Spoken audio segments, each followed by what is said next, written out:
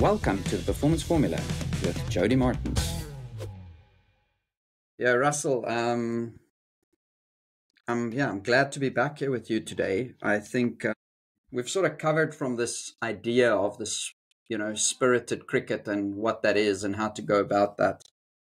We've sort of covered this from a couple of different angles, so I maybe just want to remind everybody and push them towards those. If this is the first conversation that they get to see, um, you know, so we spoke about the good news of the spirit of cricket and that the spirit of cricket is not something that should take you away from the laws, but rather that the laws are there to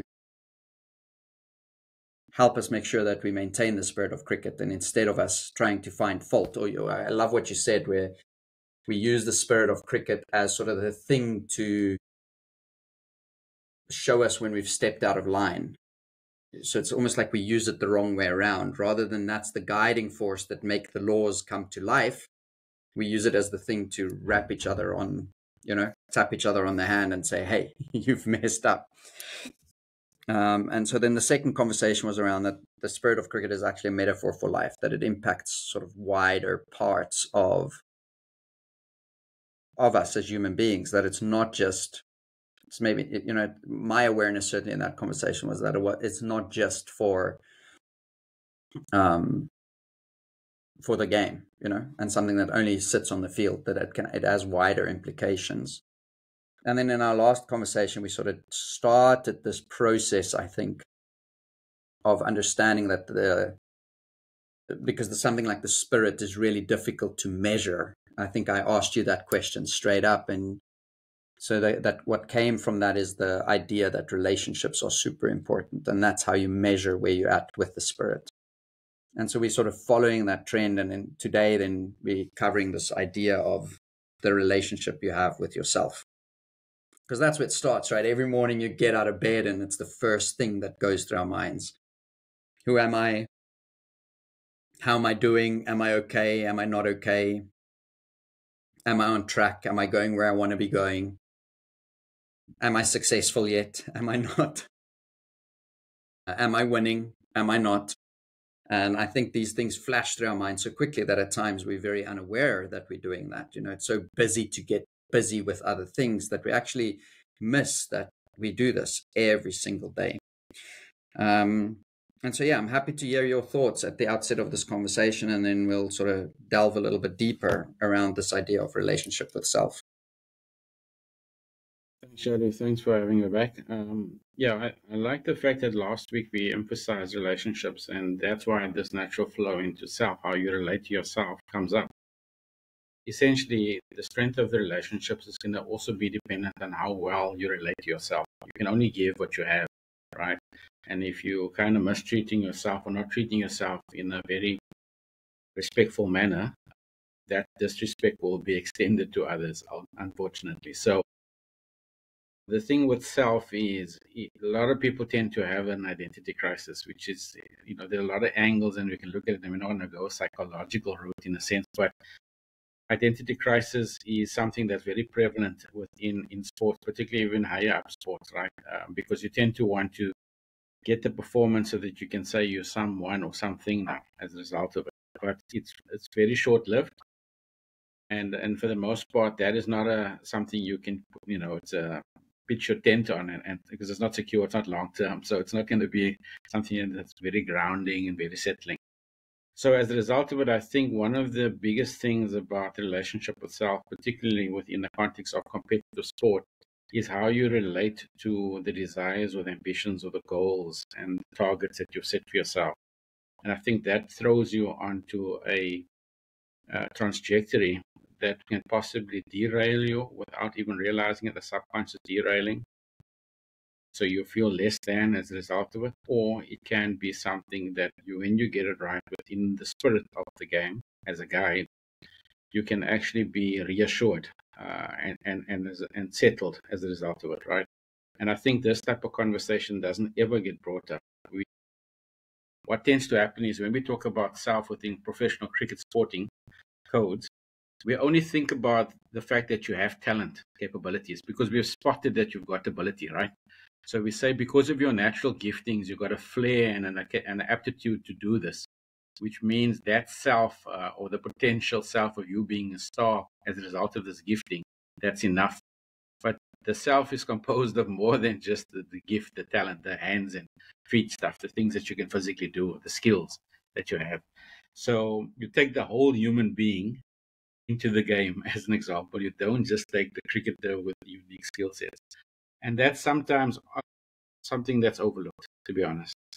So if you're not dealing with things well, the self tends to implode over a course of time because we don't give cognition to it. We only think about, oh, you're scoring runs, so you must be in a good space. Oh, you're taking wickets or you're winning matches, so you must be in a good space. And now the motivational factors and things like that. So for me, I think we, the spirit allows you to go a little bit more authentically and deeper into what that what that healthy self really looks like. And I don't think a lot of people pay attention to it only again when things go amiss. When guys are feeling burnt out, when they're feeling a little bit the sense of depression, like is it worthwhile? Or if they feel that they're feeling uh, worthless or whatever, when they're not getting out of form, out of shape, whatever, you know, those sorts of things. So it tends to only sh- uh, pop up when the negative shows, not necessarily when the positive shows, but it goes both ways, unfortunately.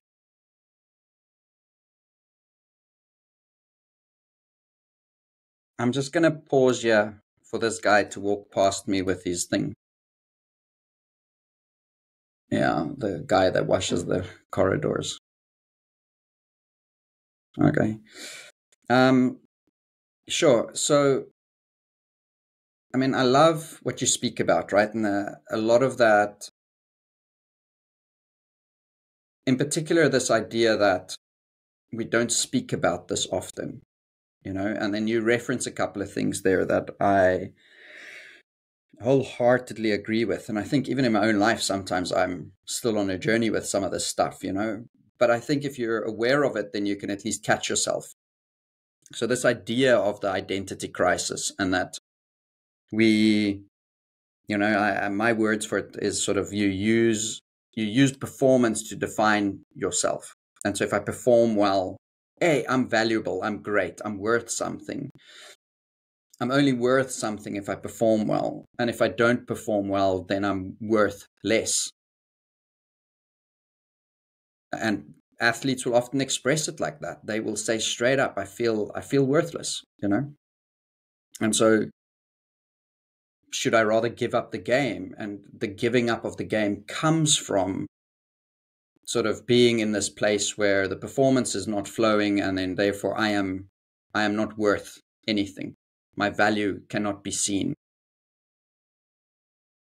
And so I, I mean that it, it, yeah, it resonates so well and, and I'm well aware that not a lot of people and I say not a lot of people because I know there's not a lot of people that actually spend time figuring out what their value is, what they can bring, what they can offer beyond hitting a ball, kicking a ball, throwing a ball, jumping, running, whatever it might be.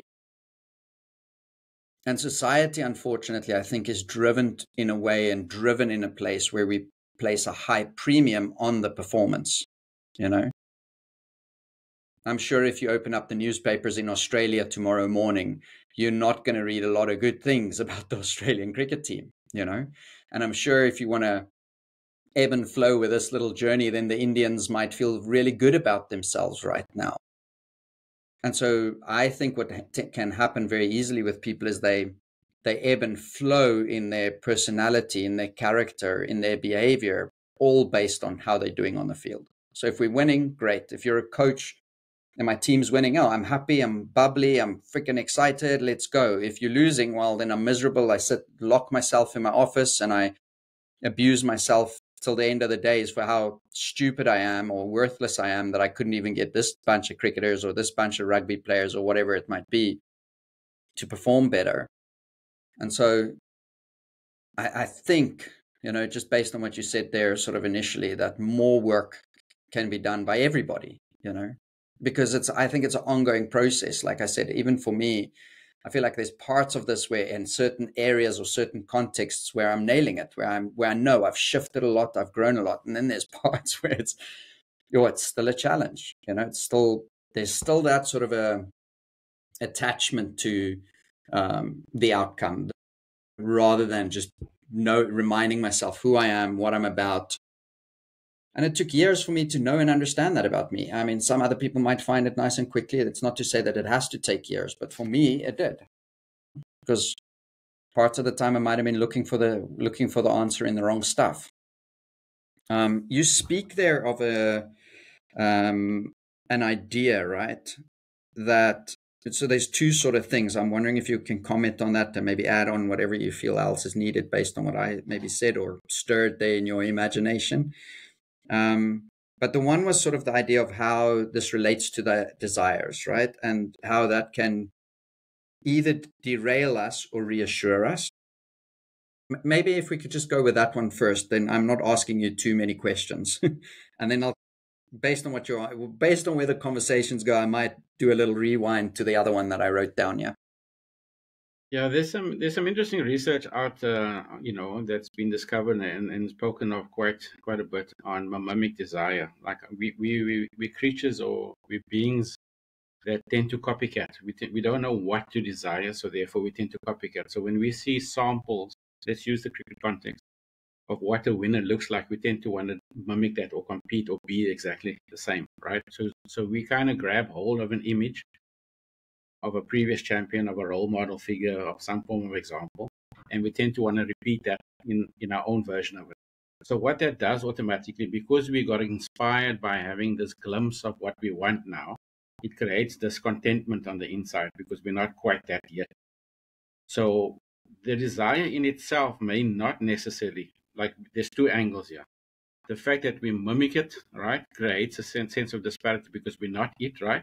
That's the one thing. And that's fine, right? There's a gap now for you to grow, but that discontentment you have to deal with well, right? It's it's a matter of understanding what environment would put you, what sort of environments is ideal, like what you always refer to, if the conditions are right to rain, it's in the rain naturally. So if the conditions, if you put yourself in a certain conditions in the right spirited fashion, hitting those goals and objectives is going to become effortless, right? It's become easy. But what we need to make sure of is the fact that those desires don't actually turn to the dark side. So, for instance, you can have a situation where you can either have outward success, but you feel empty on the inside, right? Or vice versa. You can feel empty on the inside and never get the outside success because it has to be almost both. So that's why how you deal and relate to these uh, desires that are stemming, that are coming up, and how you handle it? It's important. So, would you want to just? This is my question I pose to to to some of the athletes, and and something that we can think about. Would you want to just achieve the shell of the outcome? Let's say you imagine lifting the World Cup as an example, right? And you see the captain doing this, and so you want to be the aspiring captain doing the same, you know, lifting a World Cup as an example. Do you just want the outside shell, or do you want the inside capabilities that goes with the capacity to lift the, the cup. Because at the end of the day, if it's just the outside, you're still going to feel empty because post achieving that, you're going to now look for the next thing that's going to need to satisfy. It's almost like a never ending appetite, right? So it feels a little bit drudgery. It feels like it can derail you because now you achieve some form of glamour, some form of a taste of something, but it's not quite as satisfying as you imagined because you slaved away, if you want to work, if you want to use that word, you worked hard to get it. So much sacrifices along the pathway, and then it didn't quite hit that sweet spot of making you feel, oh, this is satisfied. I can actually now uh, have achieved this ultimate, and that's it. You know, I can relax now. right? It tends to still put you in the constant, perpetual drive for the next thing. So the point is, I would rather have you have the sense of being a champion already on the inside so that when the cup comes, it's a confirmation of you already being a champion. So the cup doesn't have to be the be all end all. It has to be almost you groomed and grown in such a way that winning is almost inevitable. So, you know, I once said this phrase, and I know I'm kind of like just jumping two feet in here, but I don't know if you can recall me saying this phrase that when you're standing on the podium receiving the cup, that's not when you feel like the biggest winner. Yes, the sacrifices you're reminded of it, what it took to get it, but it's not then that you feel like a winner. It's having overcome in moments when you felt like a total loser and yet you push through and recognize that despite what the outside looks like, which is all losing around you, as an example, your environment confirms you're a loser, and yet still drawing in from an inner resource of you as a winner when you push through, that's when you truly feel like a champion. It's not when you're ne- necessarily just lifting the cup. It's how much you overcome, both personally and professionally. Those are the winning moments. Those are the things that hit those spots. So the desires, desires has to hit both really. These to hit both the inner world and the outer world in order for that to be a sweet mix of achievement. Otherwise, it's going to be an endless loop of actually just almost there, but not quite. And that for me, that I don't know if I'm answering your question, but that that uh, illustrates the the version of a small self where you're trying to drive towards uh, motivating yourself in this small self, just me and mine, versus the bigger self with the big S, because you both have both inner and outer capacity. Yeah. So um, I don't know if you know this guy, right? Uh, I haven't spoken about him once with you uh, in our conversations, but I don't know, maybe on social media you found him uh, in your own way. And I don't know if anybody else out there knows about this guy either. Uh, there's this guy, uh, his website is fearvana.com. Uh, I tell you what, I don't know the details of everything he's done in his life off the top of my head, right? His name's Akshay. He's currently, as you and I speak, he's on a 110 day quest across Antarctica uh, where he's busy pursuing to become the first person that solo skis across Antarctica. He's pulling like a 400 pound sled behind him. And I was watching him pull tires for the last year. But I don't actually know all of his backstory. I know he was in the military, maybe. There's a couple other sort of adventure type things that he's done. But this sort of has pulled my imagination to follow him and so every evening he sends, I think he's on day 14. He's been there for two weeks now. Um, and on day 14 or 13, maybe, he shares the, uh, every evening he shares an audio thing. So if you go on his website, you can, I think you can literally click on every single day where he slept over in Antarctica. You can click and you can listen to the audio that he shared from that space. I'm following him on Insta- Instagram. I think he's just Fearvana on Instagram as well. Um, and so one of the things he said in the in the last message was, or the last one that I listened to, was speaking about exactly this. And and I think it's such a great practical example of somebody that's in the field, busy doing this extraordinary thing. So yes, there's a performance, and he says it in the thing in in in in the audio. He says I can I can reach the other side essentially of this journey. But if I reach there, I've realized that if I reach there and I'm not changed by the experience, I don't come out the other side a different person, then this whole thing is pointless. If I if I come out the other end and I'm just the same person that went in, and 110 days later I come out and I'm the same person, then this doesn't mean anything to me. And so his pursuit is, yes, to achieve this extraordinary feat of human possibility. But that's not the thing he's really going after. The thing he's really going after is to be a different person, is to change, is to discover more about himself, is to learn more about himself, is to struggle with himself a little bit more. I mean, I can only imagine I love snow. And I haven't been in an environment where it's all, I've once been in an environment where it's like all white around me and it's it's pretty daunting right? It's pretty daunting to be in that brightness that cleanness almost all around you. To spend 110 days in that sort of temperatures and i, I think it's freaking extraordinary thing that he's busy doing but that's not the pursuit. Um, you know this weekend i listened to a guy uh, on saturday i think it was um, and he spoke about I don't want to get into the whole thing, but he spoke about um, mission, having a mission, and then having values. Uh, not values, a vision. Having a mission and a vision. And I love the distinction he brought to those two things based on our conversation. So it all starts like little puzzle pieces that come together in my head, the things I've been busy with. He says, Your mission is essentially this thing that you and I are speaking about. That's how he defines it. Your mission is almost like what is the meaningfulness that you want to get out of something, right? We're meaning making creatures as human beings. We do it all day long, every day long, and we can shift our meaning. And when we shift meaning, we get different performance, we get different results. And so when we pursue higher level meanings and we make things meaningful in some way, and, and in this conversation, meaningful about ourselves, how we look at ourselves and how we view ourselves, then I think we can manipulate, and manipulate's not a great word. We can affect how we act and how we are and how we are doing. And I think if we come from that place, then we being, then doing, so that we can have.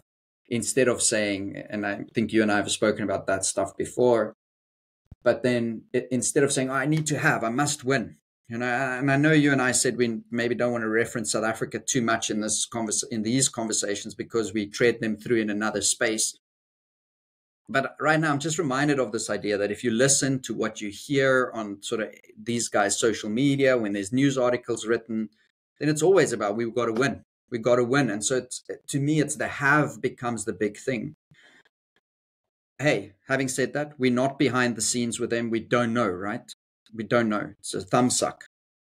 Um, but the ability to be meaningful with what you do I think that takes time. And it's freaking scary. It's like staring at yourself in the mirror and being okay with that. And then warts and all, here we go, right? And then new awarenesses come and life brings things to you and you lose a you lose something, you fail, and then and then what? You know, and I think it's all those little moments. I love what you said there. It's all those little moments that essentially get you to maybe lift a cup all those little moments that's actually the winning. That is i'm winning this little moment i'm winning this i'm shifting i'm defining i'm gaining deeper insight i'm understanding more.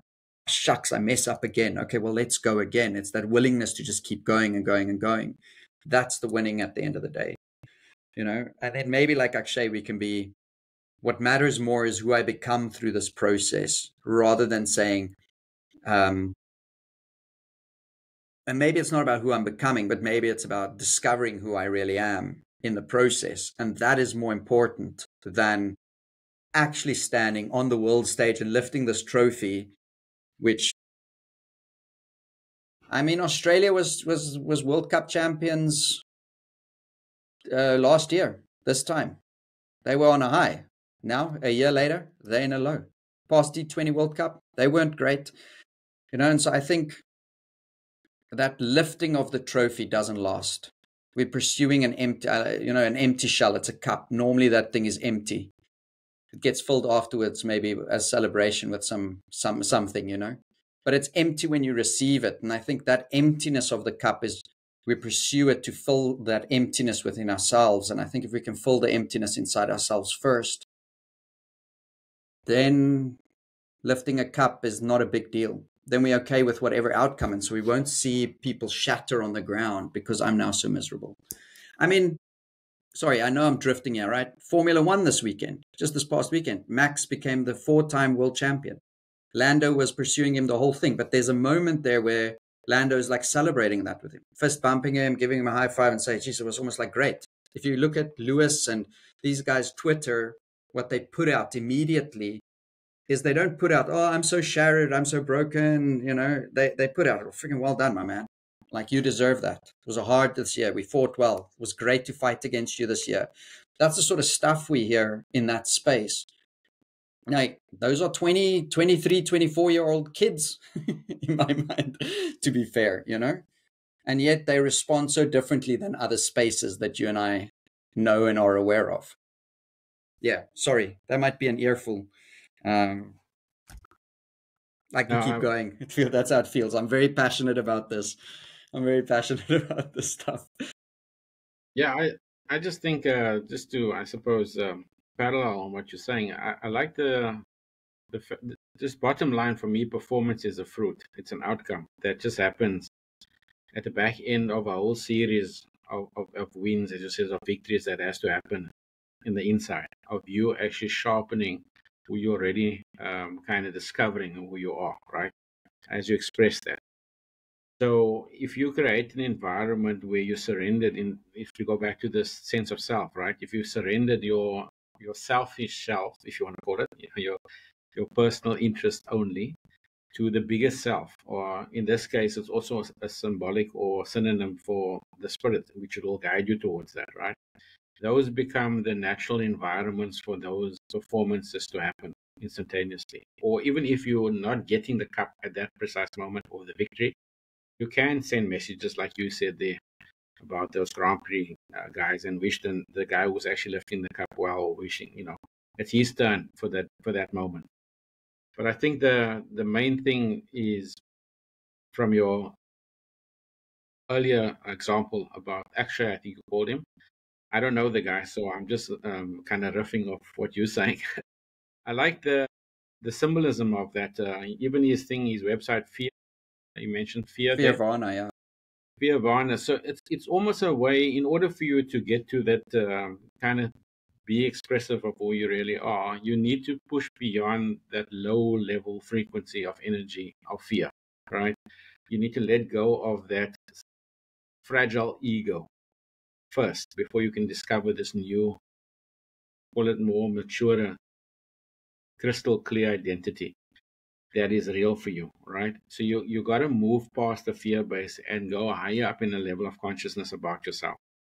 And when you do that, then you become less um, self-absorbed, less narcissistic, less uh, um, a bit of a, a tyrant, really, a, a difficult one to contend with, right? You know, become easier for others because then you you're flowing a little bit more closely to you know we spoke about the love of the game and those sorts of things. You get to love yourself and appreciate yourself even more as well because you see that you're coming to add value and be a contributor um, to yourself and others.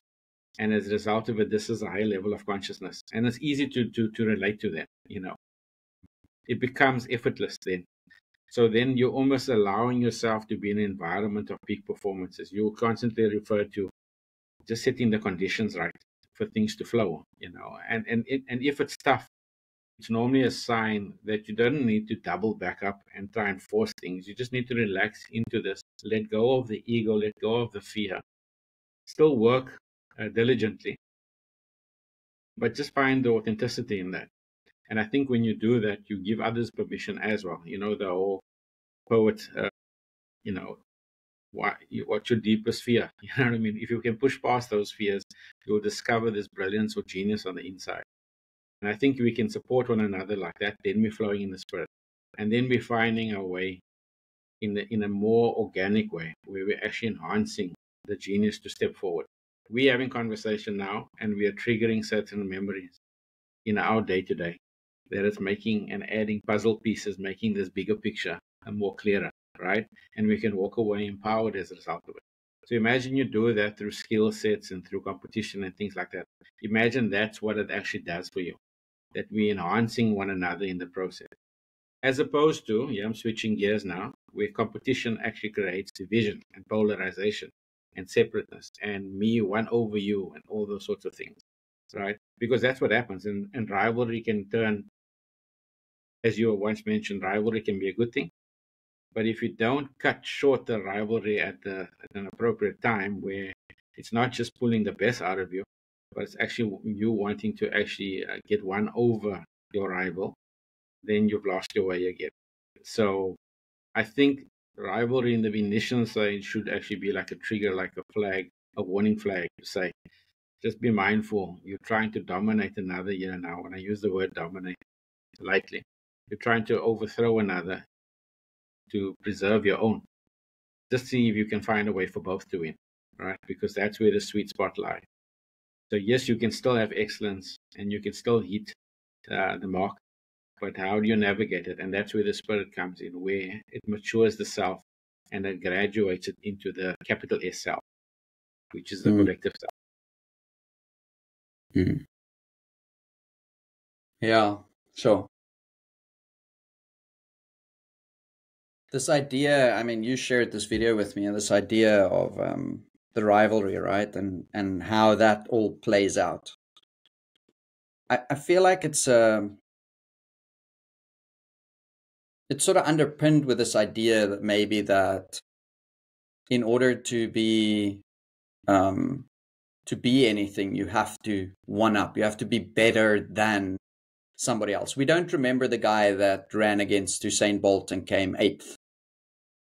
We don't remember that guy's name. We remember Usain Bolt, right? And so we all try and be Usain Bolt again in whatever sphere we are, right?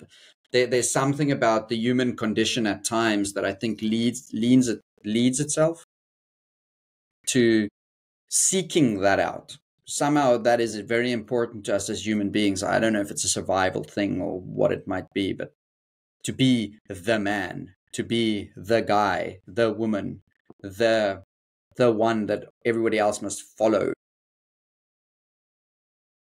I think there's something built into our DNA around that, right? The strongest will survive or whatever, you know.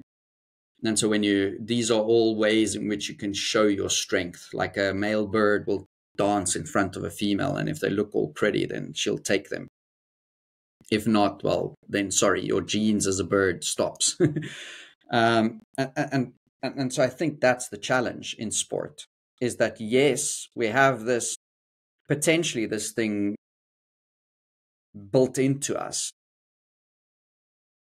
but the problem is we're also human beings so we have what uh, reflex, reflexive thinking. The bird most probably forgets this chick and finds another one right and just carries on with life. Whereas human beings we have reflexive thinking. It's one of the things that sets us apart in that, apart from other creatures. In other words we can think about our thinking. We can have awareness of how one thought connects to a thought. We have we're reflexive in our emotions. We can have one emotion about another emotion. I can feel crappy because I'm angry because I'm sad. Um, and so, so because we have these challenges as human beings, which is also built into us, we, we, everybody's got reflexive thinking, everybody's got reflexive feeling. Because we have this built into us, I think when we go down this path, when we make somebody our rival, when we want to one up them, that's when we start judging. Immediately it becomes a okay, but so like you said, creates the gap. It creates the gap between where I am and where I need to be. And so now I can be aware of the gap. And for some people that the gap is just too big and they give up. For others, the gap is the thing that inspires them and they lean into that. For others, they don't give too much cre- credence to the gap. They're on their own path. They define it by themselves. They're on their own little journey. And I'm not saying any of those are right or wrong. I, like I know where my preference would be, but hey, success can come through many paths.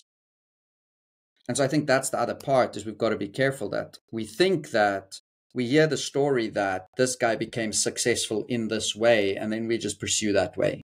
We try and be the same, you know, and so that's where the mimicry thing comes in. And it's so visible. Like I think you used the example maybe a couple of conversations ago about baby AB, and now there's the new AB. So like Dewald Brevis is not even a De Villiers, but he's baby AB. And there's a Matthew De Villiers now that sort of has the same number on his back. And so we I don't know I don't know those people. I've never spoken with them, but I think it would be very sad if that's actually their their driver is to try and be like somebody else because then I feel like we'll never see their greatness. That's my my sense about it, you know. And so I'm, I may be veering off track in my head a little bit, right? So, we, so we have this idea we're rivals that creates the sense of desire or, or creates mimicry, which creates the sense of desire. And then that's what leads us to competition because then we, then we, then we really sort of, okay, but now I've got to be competitive with you. I can't have my teammate next to me and I can back them 100% and sort of uh, make sure the relationship's in a healthy place. I have to compete with you, and then that I, I've got to feel bad when you do better than me because then my career is not advancing, you know, and your career is. Or hey, my career is advancing, yours not. Okay, goodbye, you know. And uh, there's that that's empty in my mind. That's where you say it's like selfish. It's empty. It's in this pursuit of own gratification and I think not always then aware of what you leave in your wake. You know, whatever's behind me, I don't really care. I don't look in my rear view. We don't have, unfortunately, as human beings, we don't have a rear view mirror in front of our face to see what we leave behind. We have two eyes that look out the front. You know, and so um, I, I think that once that competition is there, then it gets to a place where you're my enemy and you've got to be eliminated, you know, very easily. And so I think that's the challenge, right? Is is if like I always think it depends on the path you choose. So if you choose the path of outcome, if you choose the path of competition, of performance as not the fruit, but as the thing, and I've got to hold it and control it. And if you choose that path, that path has con- it, has got a it's got a journey on it, right? It's got a, a journey of doubt, struggle, fear, um, feeling like rubbish. The, it, it's got all of that, and it's and it's got that in the name of some achievement. And what suffers in our based on the conversation today for me is what suffers is that self. It's the it's the relationship you have with yourself suffers hugely. Inner battles inner inner struggles with yourself. Like, like it feels silly right? It's like every day i wake up and i feel a miserable idiot. Why? Because i'm battling myself where I my my 100% I'm not I don't even want to say like I half know this or I think. My 100% certainty is that when we eliminate the self struggle when we eliminate the struggle's always going to be there but it's about how we how we engage with that struggle or how we think about it if it's struggle or not. And if we let go of not that I know if we can but we we surrender to this grander idea that there's a bigger picture at play, that there's a spirit that can guide me through through my engagement with others and performance. When we choose that path, the, the path of spirit, then that's also got its journey. Now that's not to say you will never doubt, you'll never fear, you like because the path is the path, right? If you go up a mountain, you can climb Mount Everest from the one side and you can climb it from the other side. They, they, they, they there's two paths. And hey, sometimes we've got to define our own path. But I think at the end of the day, whatever path you choose will have its repercussions. My 100% certainty is if we choose the path of the Spirit, we eliminate a lot of the self struggle, and the struggle becomes more with the process and learning and growing and evolving. And I know 100% that that has more satisfaction to it. It fills the cup. That's part of what fills the cup is effort in the right spirit, struggle in the right spirit, failure in the right spirit. And I use right here in inverted commas, right? Maybe just in the spirit would be better to say it. That that's what fills the cup. I think that's what you allude to. Over time, you're filling your cup, you're filling your cup with the good stuff, you know, all the vitamins and the minerals and the I don't know, whatever you, you need. And then at the end of the day, you can, if you're, if you're fortunate enough and if it's meant for you, you'll lift the cup. But if you don't, then it's not like your legacy is defined by that. My legacy is defined by how I treated the person on the road, how I treated the lady behind the till, how I how I evolved and grew from a bad relationship I had and what I learned from there. Like I think then it's defined by that yeah, sorry, my thoughts. Again, I'm running, yeah. So we, we have to distinguish um, the past almost 30, 35 minutes we've been talking about the self when it comes to almost the individual self, the one that we are very much aware of, the one that we relate to easily because it looks very convincingly that it's uh, you there, I'm over here. So it's two separate selves, right? Mm. And that's the isolated, distinguished self and definitely the, the, the spirit definitely can, as you articulated now, can definitely appeal and keep you safeguarded, a little bit more mature, and keep you like kind of growing that self. But there is also a higher dimension, which I also want to bring in at the back end here now. A higher dimension or higher level of consciousness of self, which is what I've kept referring to as the capital S. When you graduate to another level where you realize that there's no separation between myself, Russel, and myself and yourself, Jody. It's actually one self. Mm. Because what I do to you, I do to myself in some shape or form, right? Essentially, what it boils down to is that inclusive spirit, that inclusive S, where there is no separation, there is only oneness. And when you go down to any forms of, you know, any forms of sense of religion based, you will have this concept concept coming through, right? Because it applies to the golden rule. This is where you tie the two selfish selves, the small s, with the big S, right? When you start saying treat others like you want to be treated, because the actual fact is no other. There is only one. So what you do to another, you're doing to yourself. So if you're standing there on the top, having achieved a certain thing, and you're obnoxious and you want to rub in other people's faces, your moment of that down the line will come where someone's going to rub that in your face because what you did to that other you're doing to yourself. It's just going to happen later. But if you treat someone like you're saying well, whilst you're on the top, because you understand that who you are is a representative of every, everyone, right? Then you have this expanded understanding of the capital self. And that is what the spirit offers. it offers you a way to get away from this just me, myself, and I, right? You can actually go me, myself, and I spirit because the spirit in capital S will take you away from that I. Because everything seems to be pointing towards that's what me, me, me, mine, mine, mine, you know. And we all know the analogy like with kids. As soon as they start saying, Oh, you desiring this now, I also want to desire those maina, maina, maina, right? And we don't want to keep acting like small kids, you know, with that small s. We want to actually get to the spirit where we start saying, What's best for all? And therefore, can I treat you like I want to be treated? The capital S, the mature S. And that is what the Spirit offers us. It offers us a way out from the small s because ultimately we go into our corners feeling a little bit dissatisfied. Even if we say it's Maina, I'm sitting alone in the corner with my Maina. and I can't have anyone to play and enjoy it with because it's it's either mine, I'm taking my bat and my ball and I'm going home, so no one plays. you know? And so the game is stifled. But what the Spirit will say is, no, stop saying mine, say it's ours or whatever, or share what's yours, and let us all enjoy in the right spirit. And then we're all winning. And I think that's what we're talking about. So when you talk about relating to yourself, can you graduate the small s into the big S and allow the Spirit to be a guide to help you get there? Because it is. That's exactly why it's there. It's for you to enhance the relationship to the higher dimension of engagement. Hmm.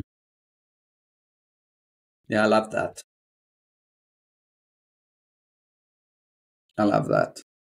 I think uh, I don't know if I want to add necessarily a lot onto that, right? Because I think you said those things so eloquently, um, and it has me sort of in a space of a little bit of introspection, yeah, in in this immediacy of the moment.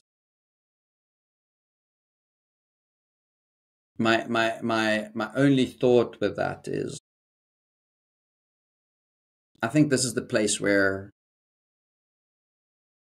athletes struggle. It's the place where people struggle because we're so in pursuit of our stuff, you know, my stuff. We're so in pursuit of that. And this could be true whether you're an accountant pursuing the higher position at your job, right? It could be true if you're a stay-at-home mom and you're pursuing just the education of your kids. You know, it, it, it, it's really any sphere of life. But I think this is the this is the part that trips athletes up in a big way. The understanding that if I win, it's not me winning. It's actually us winning if our team wins, it's not our team that's winning, it's the game that's winning. And if it's if it's the game, it's not just our game that's winning. It's basically almost like saying humanity is winning, you know, because it's another exhibition of how as humans we can be great. Because actually we're all busy doing this thing, you know.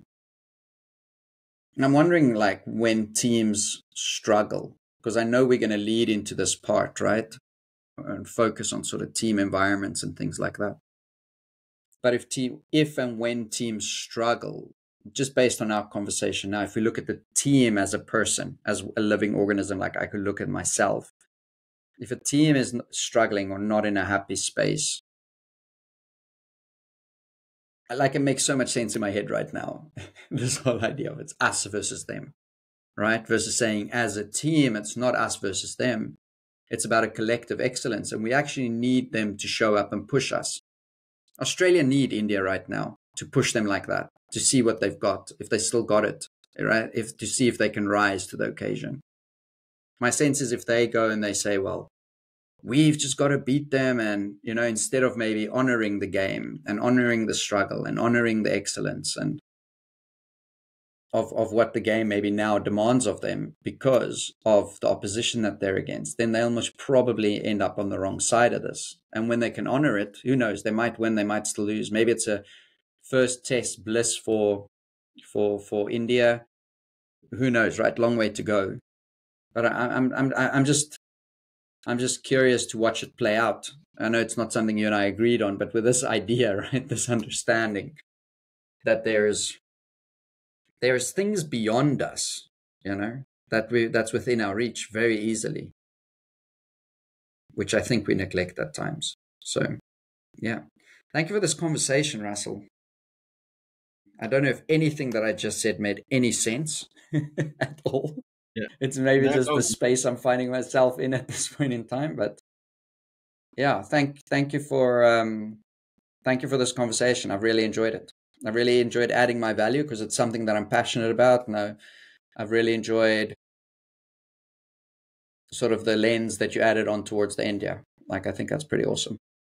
I think leading into the next one, Jared, I just want to say this. Uh, I think we, what we've discovered through this conversation and what we're looking to do next is that we, we have a choice always um, as we participate, as we engage, even if we're just watching it.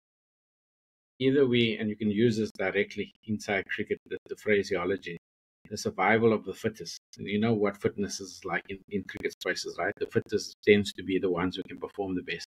But anyway, if we have a mentality or a philosophy or an approach of survival of the fittest, it's necess- it's going to therefore mean that other people are going to be falling along the wayside. Because only fit is going to be thriving, right? Not everyone. However, there's a bridge between that world of survival of fittest versus one for all, all for one. And it's again, it's not my team versus another team, it's the grander good of the game at large. So if you're having one for all and all for one type of cognizance, right? The bridge between those two, survival of fittest and one for all, all for one, is the spirit. And that's the beauty of it. And that's where champion teaming comes from. That's where engagement comes from. That's where life comes from.